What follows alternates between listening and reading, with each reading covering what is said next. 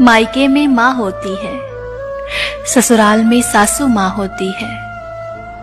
मायका तो मायका है और ससुराल तो ससुराल ही है। सास माँ नहीं होती।